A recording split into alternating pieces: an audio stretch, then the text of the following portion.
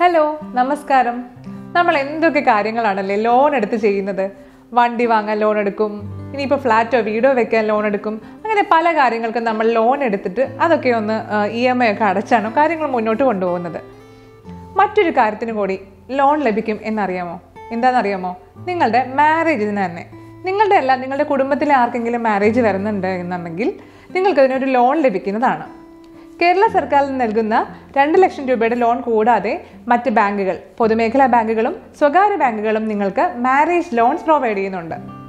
ഇത് കേൾക്കുമ്പോൾ തന്നെ നിങ്ങൾ ഇത്രയധികം പൈസ മുടക്കി എന്തിനാണ് വിവാഹം കഴിക്കുന്നത് എന്ന് ചിലർ വിചാരിക്കുന്നുണ്ടാവും. ഇത് അത്തരക്കാർക്ക് വേണ്ടിയിട്ടുള്ളതല്ല. എങ്കിലും ചെറിയ രീതിയിലെങ്കിലും നല്ല രീതിയിൽ വിവാഹം നടത്താൻ ആഗ്രഹിക്കുന്ന ആളുകൾക്ക് ലോൺ പ്രൊവൈഡ് ചെയ്യുന്നുണ്ട് പല ബാങ്കുകളും. അൻപതിനായിരം രൂപ മുതൽ അൻപത് ലക്ഷം രൂപ വരെയാണ് പല ബാങ്കുകളും മാരേജ് ലോൺസ് നൽകുന്നത്. അതിന്റെ ഡീറ്റെയിൽസ് കേൾക്കാം. കല്യാണ നിശ്ചയം കഴിഞ്ഞാൽ കല്യാണ ചെലവുകൾക്കായി തുക എങ്ങനെ കണ്ടെത്തുമെന്നാണ് പലരുടെയും ആശങ്ക. ലളിതമായ രീതിയിൽ നടത്താൻ പോലും എത്ര രൂപയാണ് ചില ചടങ്ങുകൾക്ക് വരുന്നത് അല്ലേ? കല്യാണ സാരി സദ്യ സ്വീകരണ ചടങ്ങുകൾ ആഭരണങ്ങൾ ഓഡിറ്റോറിയം ബുക്കിംഗ് ഫോട്ടോ വീഡിയോ ഉണ്ടെങ്കിൽ അവ അതിഥികൾക്കായുള്ള താമസം തുടങ്ങിയ എല്ലാത്തിനും ചെലവുകൾ വേറെ വേറെയാണ്. ഇപ്പോൾ ഭാരിച്ച കല്യാണ ചെലവുകൾ നേരിടാൻ സഹായഹസ്തവുമായി ബാങ്കുകൾ എത്തിയിട്ടുണ്ട്. വാണിജ്യ ബാങ്കുകളും ബാങ്ക് ഇതര ധനകാര്യ സ്ഥാപനങ്ങളും എൻ ബി എഫ് സികളും രംഗത്തെത്തിയിട്ടുണ്ട്.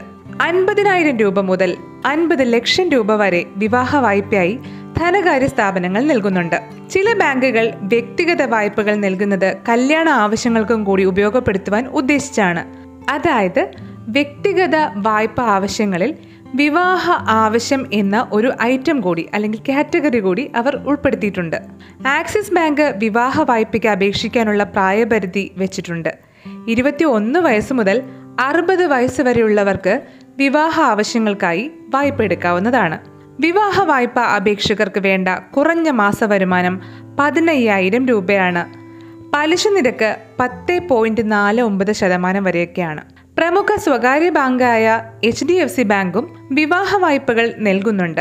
ഈട് വയ്ക്കാതെ ലഭിക്കുന്ന ഇത്തരം വ്യക്തിഗത വായ്പകൾക്ക് പലിശ കൂടുതലായിരിക്കുമെന്ന് മാത്രം. H D F C account ഉള്ളവർക്ക് കുറഞ്ഞത് ഇരുപത്തി അയ്യായിരം രൂപ മാസ വരുമാനം ഉണ്ടായിരിക്കണം.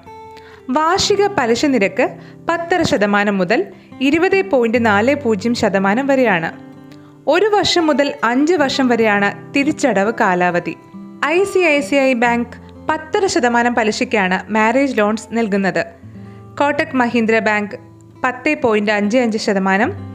തുടങ്ങി വിവിധ ബാങ്കുകളാണ് വിവാഹ വായ്പകൾ നൽകുന്നത്. പ്രമുഖ എൻ ബി എഫ് സി ആയ മുത്തൂറ്റ് ഫിനാൻസും മാരേജ് ലോൺസ് നൽകുന്നുണ്ട്.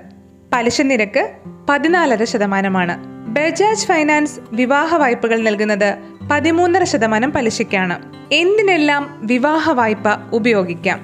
വിവാഹ വായ്പകൾ വിവാഹവുമായി ബന്ധപ്പെട്ട പല ചെലവുകൾക്ക് ഉപയോഗപ്പെടുത്താനാകും. ഓഡിറ്റോറിയം ബുക്കിംഗ് അലങ്കാരങ്ങൾ സമ്മാനങ്ങൾ കേറ്ററിംഗ് വധുവിനുള്ള വസ്ത്രം കേശാലങ്കാരം ബ്രൈഡൽ മേക്കപ്പ് യാത്ര അതിഥികളുടെ താമസം സംഗീതം ഫോട്ടോഗ്രാഫി വീഡിയോഗ്രാഫി ക്ഷണിക്കാനുള്ള ചെലവുകൾ തുടങ്ങിയവയെല്ലാം ഇതിൽ ഉൾപ്പെടുത്താം.